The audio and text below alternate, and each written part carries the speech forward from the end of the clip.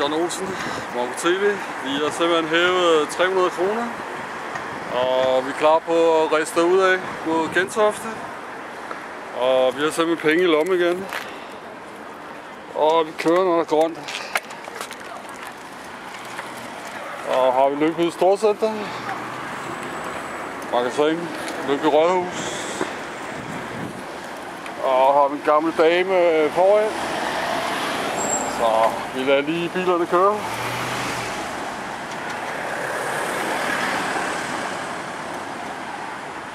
Og venter lige til der er et hul. Der er et hul i bilerne her. Så kører vi.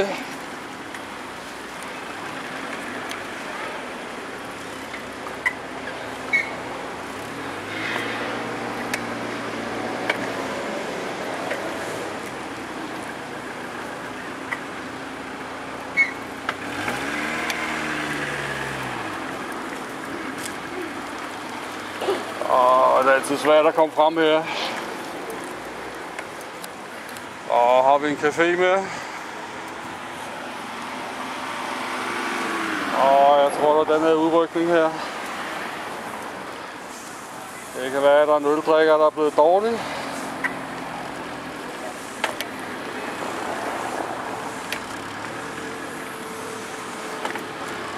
Og det er også derfor, vi ikke skal drikke med et bajer. Så vi har simpelthen en lægevogn.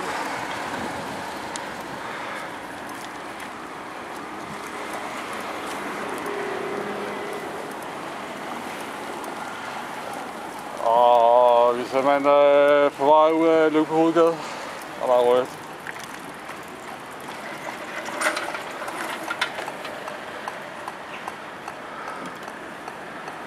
Og har vi den der latterlige postpop. Koster en bøf 200-300 kroner.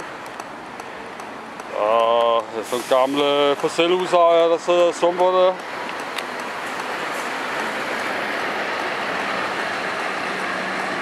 Og ham, der har postbom, han ligner en gammel bums. Han har helt ligner helt bumset ansigt. Jeg tror, det er søn af ejeren.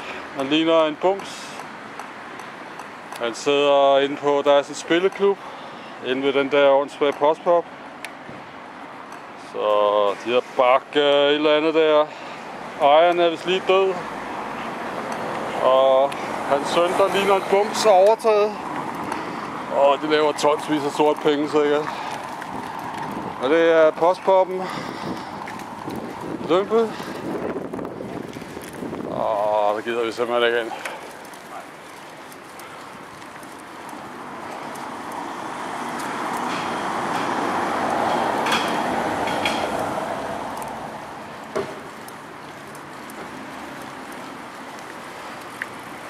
Og vi simpelthen øh, krydser Jynkby Lyngby Jernbaneplads.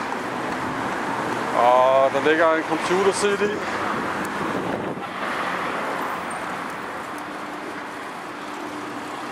Og det var sådan set det hele, hvad der er i den her by her.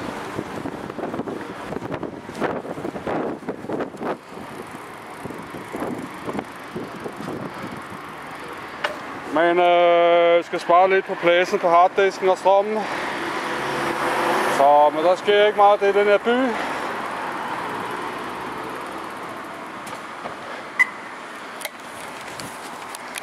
Og det er John Olsen, reporter mig på TV.